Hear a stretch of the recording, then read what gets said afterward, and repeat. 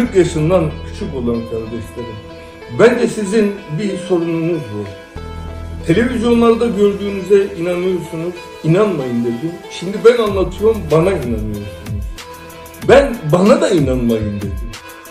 Çünkü şundan dolayı bu dünyada değişmeyen bir güçlem vardır. O da şöyledir. Bir insanı korku öldürür, şüphe yaşatır, cesaretle başarıya götürür.